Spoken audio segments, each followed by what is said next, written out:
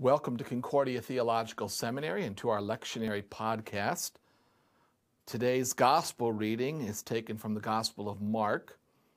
Uh, we'll be looking at verses 23 to 28 and the story of the plucking of grain on the Sabbath. And so, this is the way Mark writes it. And it happened uh, that he, that is Jesus, on one of the Sabbaths, um, he was making his way, he was going through the grain fields. And the disciples began to also, they air canto, to make their way.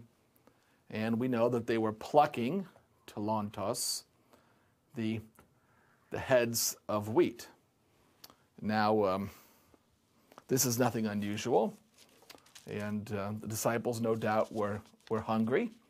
And uh, they were having a little snack on the wheat, which was quite acceptable in that time, according to the law.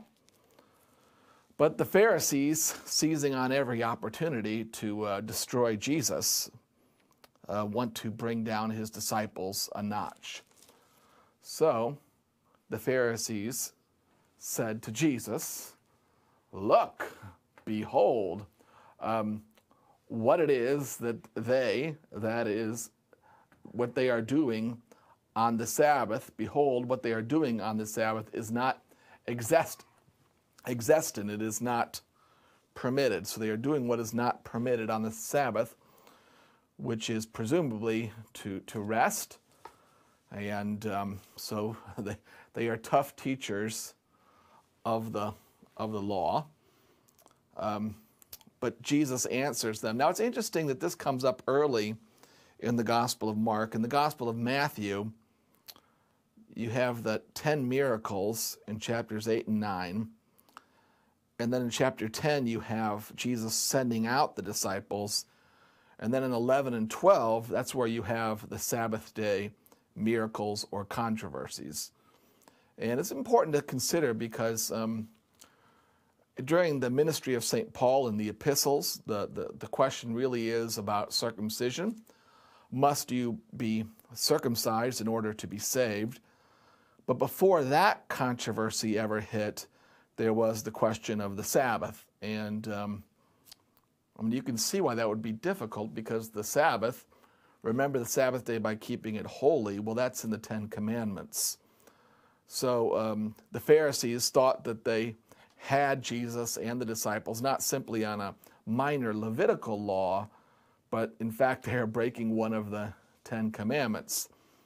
And of course, it's, it's Matthew and of course Jesus who teaches that um, the Sabbath is, uh, is a symbol uh, looking forward to the day of rest to be found in Christ Jesus, who is the Lord of the Sabbath and who is in fact our Sabbath day rest and he fulfills the Sabbath by, by resting in the tomb on that Saturday, uh, thus sanctifying our rest in the tomb and beginning a new day with the resurrection, the eighth day, the third day.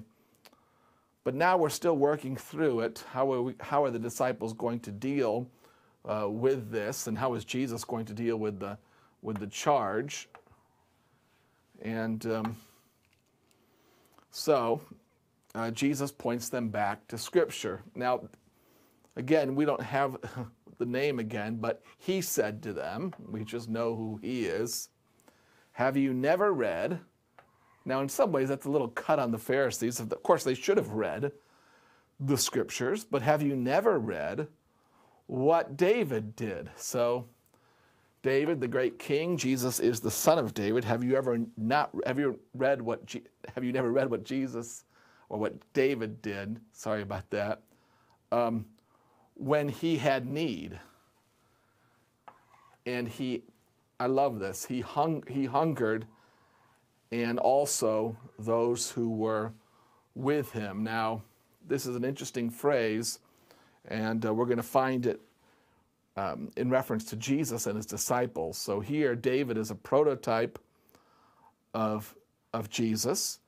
And those who are with him, I suppose, are a prototype of the disciples, of Jesus' own disciples. And he says, Have you never read what they did when they had need and he hungered, and those also who are with him? And it says, How he went into the house of God that is in the temple during the time when Abiathar was the high priest. And what he did was he ate, now this is remarkable, the bread of presentation, which is the bread of presence. Now, this, mirror, this story then works on a couple of levels. One, it shows us Jesus' relationship to the Sabbath. Jesus is the Lord of the Sabbath.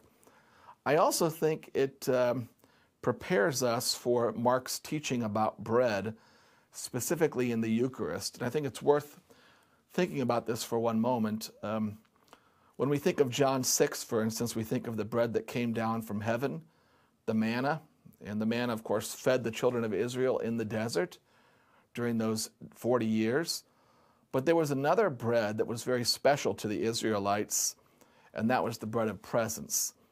And the bread of presence was bread that was baked and made by the priests every week. And they would bring it into the holy place onto the table, uh, the showbread, sometimes it's called. And they would put it into the holy place. And when they put the new bread on, they would take the bread that had been in the holy place on the table there for a week and they would eat it. The priests would eat it um, along with their families. Now, this was a priestly food, and it signified the presence of our Lord, that the Lord God was, was with um, his people somehow in some holy way in this bread.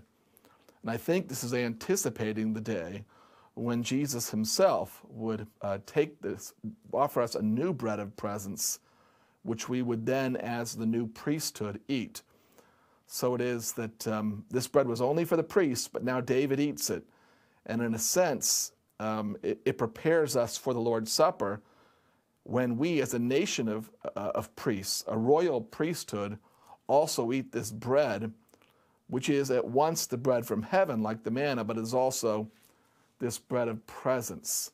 So the Lord is with us. So do you not remember that he ate these loaves of presence or this loaves of presentation, um, which is not lawful. Again, that's that word um, which the, the Pharisees had used against the disciples. They said, well, it was not lawful to eat for except for the priests. And he also gave it to those who were those who are with him. And um, this is the, the meal that we celebrate with our Lord, the bread that we eat with our Lord even today is anticipated by what David did. So uh, then he says to them, um, he asks this question, uh, or the Sabbath is on account of man. Uh, man is not on account of uh, the Sabbath. That is to say, the Sabbath was made as a day of rest uh, for us. Uh, we were not made for the rest. So here, mercy triumphs. David does the right thing um, because he is hungry and in need, and because those who are with him are hungry and are in need. And indeed, we're going to see this sort of thing happen again in the Gospel of Mark, um, where I think a beautiful place where we see it is in the feeding of the 5,000, where in the Gospel of Mark, for instance, we are told that um, they are sheep. Jesus sees the people and he sees that they are like sheep without a shepherd. And we're reminded of David, who is the, the good shepherd. And um, says he has them uh, re- recline in garden plots. And it's all very reminiscent of Psalm 23, the great psalm of David and the Good Shepherd. Uh, so it is that the Sabbath is on account of man, not the man for the Sabbath. So he does away with a kind of a false legalism that was, um, that was promoted uh, by the Pharisees, with the result that uh, the Lord is the Son of, so the, the Lord, or the Son of Man, is the Lord of also, is also the Lord of the Sabbath. Now, again, we mentioned that this points to Christ's death in the tomb, but it also reminds us that uh, David's son is in fact David's Lord. So it is also a way of saying that it's Jesus through whom the world was created, that he is the Lord of all, that he is the Lord of creation, because he is the Lord of the Sabbath, because the Sabbath came through him, and also he is the great Sabbath who gives us our rest. Well, thank you very much for uh, looking at this uh, short reading with us today, and I pray that you have a blessed Sunday.